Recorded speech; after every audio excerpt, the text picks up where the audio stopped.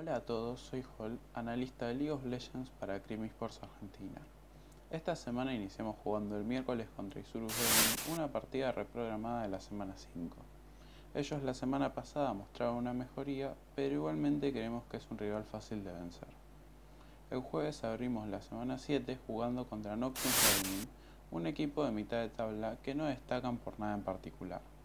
Y el viernes cerramos la semana contra Dead Gaming, uno de los equipos que menos partidas ganaron en el torneo. Contra ellos solo esperamos que no nos suspendan la partida como siempre hace.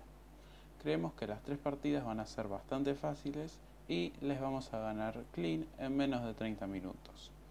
Los esperamos el miércoles a las 20 contra Isurus, el jueves a las 19 contra Nocturnes y el viernes a las 20 contra Dead por los canales del EVP. Saludos y always cream.